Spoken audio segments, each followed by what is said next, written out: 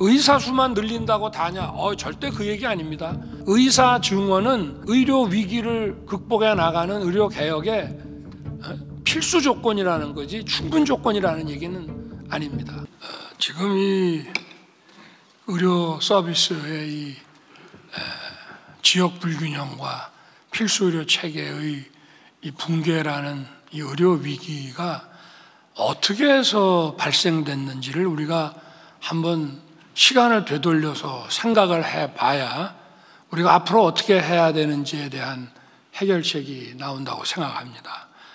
아, 과거에는 뭐 어, 의학이라든가 또 그 의과학 또 의료 어떤 기기의 기술 그 성능이라든가 이런 것이 이제 지금보다는 전 세계적으로 많이 떨어졌습니다만은 우리나라에서 그런 대로 어, 지역의 그 불균형 없이 그리고 어, 필수 의료 체계에 있어서도 어떤 공정한 또 균형 잡힌 그런 체제를 가지고 있었습니다. 그런데 이것이 이제 완전히 무너졌는데요.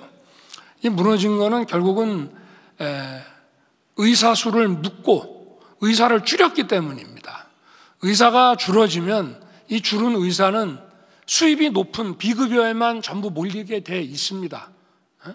그러면 이 의료 그 수요에 따라서 의료 수요가 커감에 따라서 거기에 필요한 만큼 의사를 꾸준히 늘려왔다면은 어?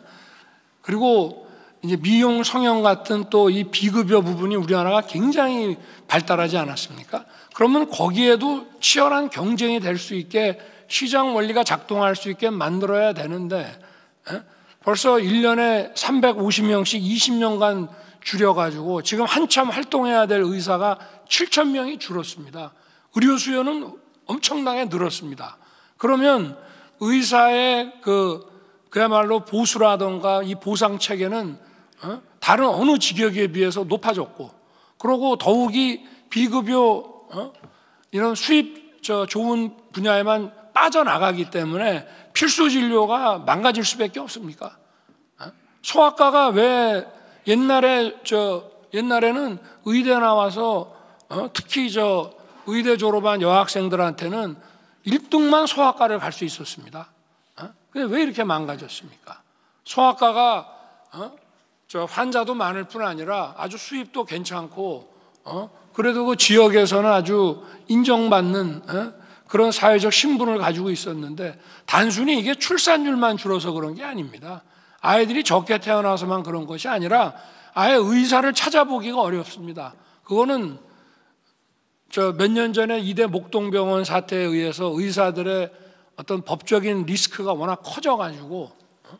거기에 대해서 국가가 나몰라라고 무슨 의료사고, 의료사고라는 것도 어, 환자, 환자 가족 입장에서는 사고지만 의사는 또 정상적으로 자기 그, 어, 저 처치를 해온 거라고 할 수 있는데 뭐 어, 필요하면 아무 때나 저 당사자가 이의 제기만 하면 의사가 경찰서, 검찰청, 법원을 불려다니는 그런 일을 우리가 이제 좀더 어, 전문적이고 과학적으로 그 의료 분쟁을 조정할 수 있도록 해야 되겠다.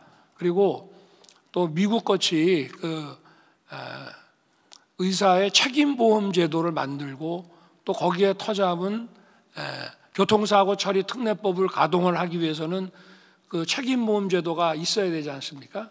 그래서 그런 그 의료사고 처리 특례법이라는 전 세계에 유례가 없는 의사들의 리스크 방지를 위해서 그런 것도 좀 만들어 주고 그리고 또 필수 의료 체계에 더 많은 의사들이 갈 수 있도록 어, 공공 정책 수가를 만들어서 종전에는 행위별 그 수가를 책정을 했는데 산부인과나 소아과는 일정한 시설을 만들어서 개원만 해놔도 어, 거기에 따른 공공 정책 수가가 지급이 될 수 있도록 어, 이렇게 만들어 주면은 저 제가 볼 때는 소아과 산부인과에 의사가 안 올 이유가 없습니다. 그런데 의사 수만 늘린다고 다냐? 어 절대 그 얘기 아닙니다.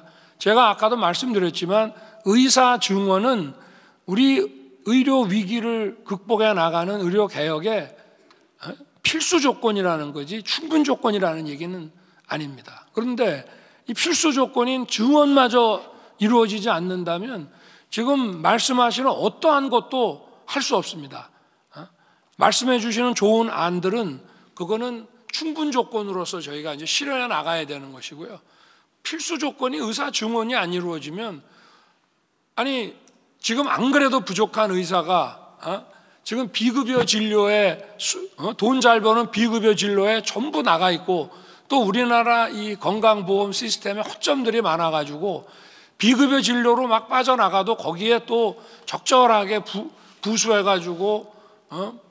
저 보험금이 지급되게끔 돼 있는 이런 체, 제 하에서 어?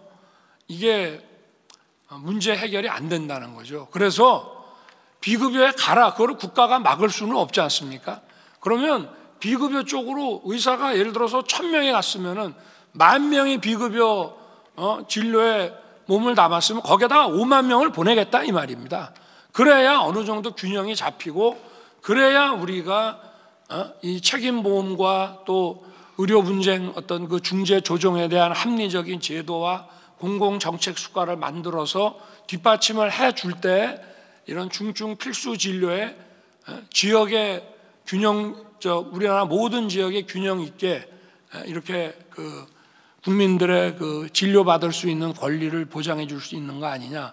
저는 저희의 의료계약은 지금 필수 조건을 시급하게 만들어내야 된다는 게 첫 번째고요.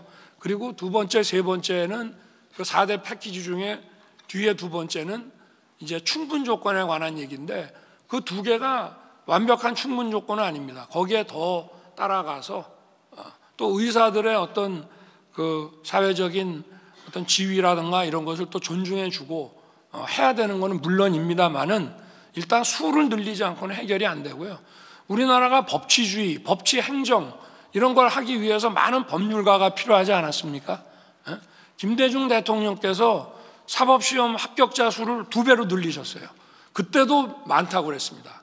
과거에 100명 이하로 뽑다가 이제 300명, 500명 이렇게 늘렸다가 김대중 대통령 때 1000명을 뽑았어요. 근데 이렇게 해서 변호사 숫자가 늘어나니까 사회 모든 분야에 법을 배운 사람들이 어, 다 자리를 잡아서 법률 전문가들이 그래서 우리나라가 굉장히 어, 아주 그 법치주의 발전이 엄청나게 지금 급속도로 진행이 됐습니다. 그 우리나라 민주화에도 굉장히 많은 어, 기여를 했다고 볼 수 있고요. 근데 앞으로 저는 더 많아져야 된다고 생각합니다. 이렇지 않으면은 우리가 우리 기업들이 국제 경쟁을 해 나가는 데 있어서 어? 또그 어떤 상사 문제라든가 이런 전문적인 분야에 많은 그 법조인들을 배출해 내기가 어렵습니다. 어?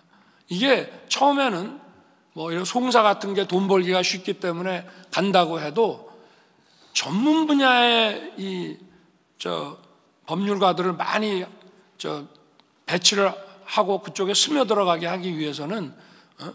일단 어, 지금 뭐 예를 들어서 뭐 환경이다, 뭐 무슨 지적 재산권이다 이, 이 분야가 전부 투자도 필요하고 본인에게는 희생도 필요한 건데 그렇게 함으로써 일정한 시간이 지나면은 이 사람들이 다시 또 굉장히 아주 어, 그야말로 소득도 높고 사회적으로도 그 존재감을 인정받을 수 있는 그런 법률가가 될 수 있는 것처럼 일단 숫자를 안 늘리면은 이게 뭐 어, 기본적인 그 전제 조건, 그 필수 조건이 필요 조건이 갖춰지지 않기 때문에 지금 드리는 말씀이고요. 충분 조건에 대한 얘기는 지금 복지부 장관이 두 가지 말씀을 드렸지만 그거 플러스 더 좋은 것들은 여러분들께서 제시해 주시고 또 전문가분들이 제시해 주는 거는 대폭 저희가 받아들여서 이 필요 충분 조건이 맞물려서 하여튼 우리 그 의료 개혁이 그야말로 국민을 위한 의료 개혁으로서 또 의료계도 궁극적으로 장기적으로는 받아들일 수 있는 그런 의료 개혁으로 만들어 나가려고 하는 것입니다.